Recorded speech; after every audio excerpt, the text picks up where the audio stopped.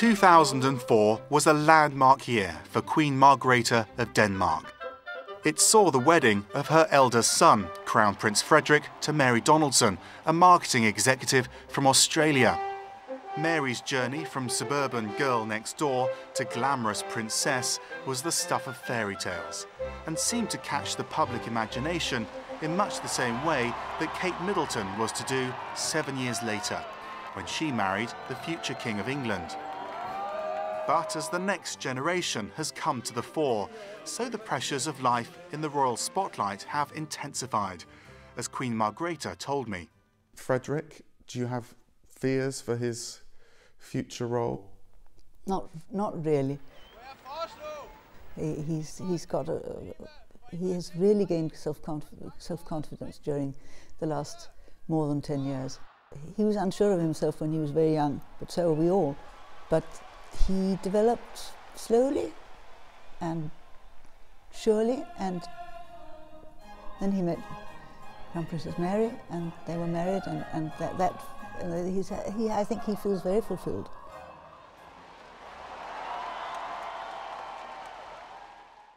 Both my sons have, are married to, to women that I'm extremely proud of calling my daughters-in-law.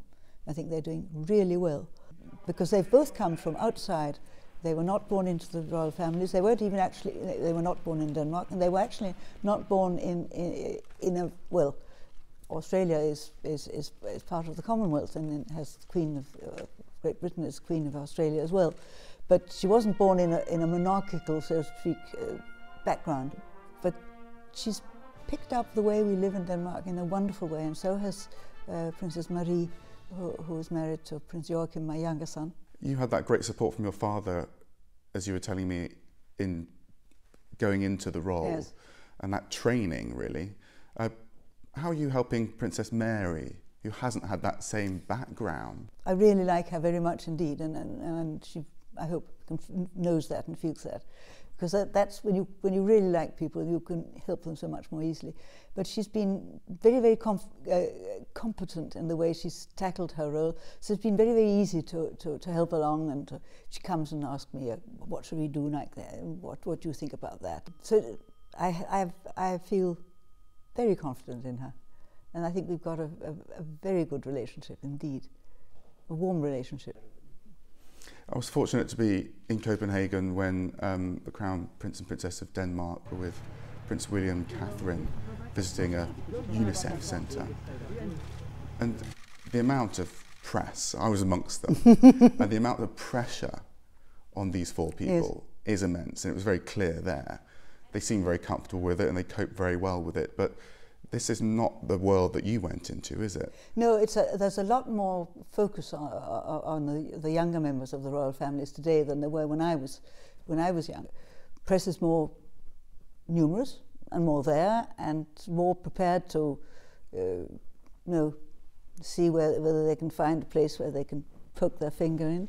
I think if people are happy in their own lives, then the, the possibility they will do well in, the, in their public eye as well is, is very important. And as far as I can see, Prince William and Princess Catherine are, are certainly on this, well on the way in the same sort of course as Crown Prince Frederik and Crown Princess Mary. Do you fear for the media pressure on them? Take Catherine, for example, Duchess of Cambridge, described as the biggest star in the world, and wherever she goes, there's huge pressure. How do you think she's coping? Well, I, for one thing, I would never give marks to my colleagues. But she's doing it beautifully. And uh, I know the pressure in, in, in, Great Britain is quite a big bit worse on the whole of the royal family than it is with us. But uh, there is more pressure on the young people of today than there, were when I, there was when I was a child.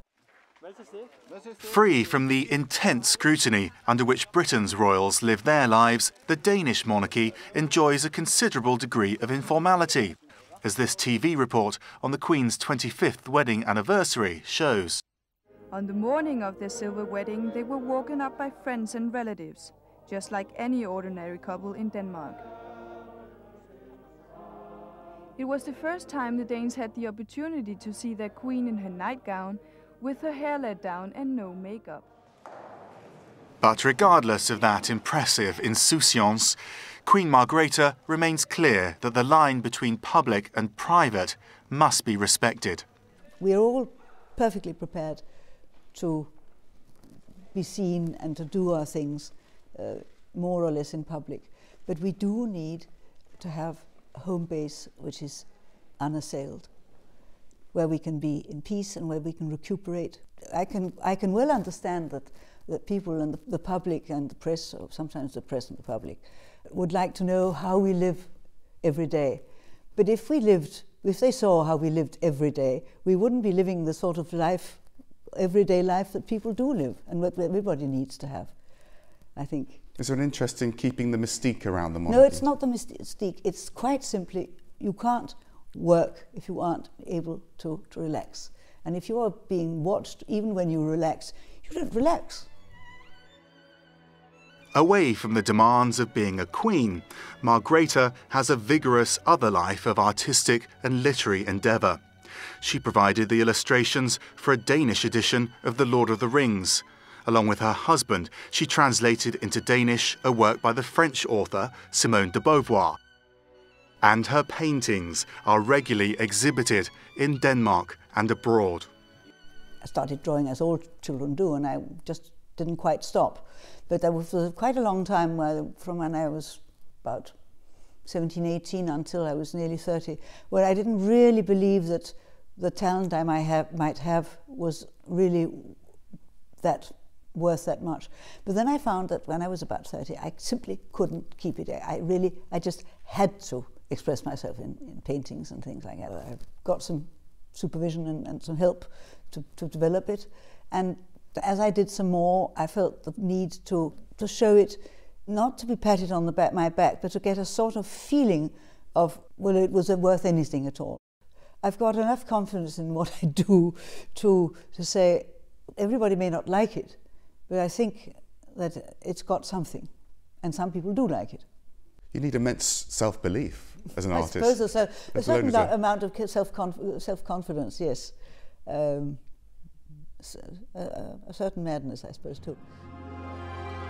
Queen Margrethe has also done costume and set design for film and theatre productions, including this revival of a classic Danish ballet, A Folk Tale, in 1991. Yeah, altså cigøjner, ikke? Ja.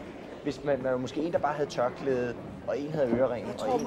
jeg tror nok, at vi skal have huen alle sammen, for ellers har, ja. der, har, har I ingen rødt, og kun pigerne noget rødt. Ja. Men der skal have den gennemgående røde farve i. I'd always loved uh, theatre, uh, especially the ballet. Um, and I'd been doing a little bit uh, in a completely amateur way, I mean, in, for, for amateur performance with, with some friends in the way that I did uh, some scenography, and especially I did drew costumes and I, I made hats for a little ballet school.